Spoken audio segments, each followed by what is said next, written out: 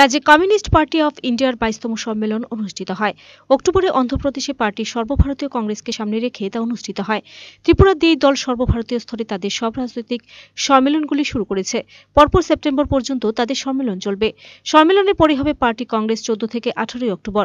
এই সম্মেলনে শুধু বিভিন্ন রাজ্যের প্রতিনিধিরাই যোগ দেবেন তা নয়, বিদেশের কমিউনিস্ট পার্টির প্রতিনিধিরাও আসবে এবং অংশগ্রহণ করবে বলে রবিবার আগরতলার কৃষ্ণনগরস্থিত পার্টির কার্যালয়ে সাংবাদিক সম্মেলন করে জানান পার্টির কেন্দ্রীয় নেতৃত্ব পল্লব সেনগুপ্ত সেটা হচ্ছে জানেন যে আমাদের ত্রিপুরা রাজ্যের বাইশতম সম্মেলন অনুষ্ঠিত হলো গতকাল এবং আজ।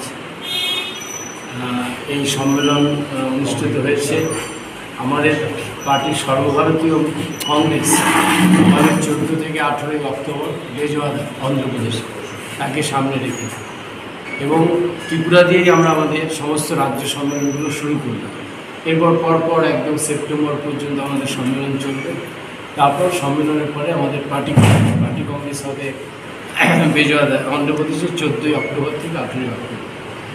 এবং এই সম্মেলনে শুধু রাজ্যে, বিভিন্ন রাজ্যের প্রতিনিধিরা যোগ দেবেন তাই নয়, অনেক দিন বাদে আমাদের এই সম্মেলনে বিদেশের কমিউনিস্ট পার্টিগুলো আসবেন এবং তারাও আমাদের এই সম্মেলনে পার্টিসিপেট করবে তিনি এদিন আরও জানান, রাজ্যে যে সম্মেলন অনুষ্ঠিত হয়েছে, এর মধ্যে সাতাশি জন নির্বাচিত ডেলিগেটরা ছিল। এদের মধ্যে উনত্রিশ জনকে স্টেট কাউন্সিলের জন্য নির্বাচন করা হয়। এর থেকে নয় জন মেম্বার সেক্রেটারি হয়েছেন। তাদের মধ্যে যুধিষ্ঠির দাসকে রাজ্য সম্পাদক হিসেবে নিযুক্ত করা হয়। এই সম্মেলনে বিভিন্ন বিষয়ের উপর আলোচনা করা হয় এবং চারটি দাবি সনদ গৃহীত হয় সর্বসম্মতিক্রমে। এই সাংবাদিক সম্মেলনে উপস্থিত ছিলেন দলের অন্যান্য নেতৃস্থানীয় কর্মীরাও। Bureau report, search India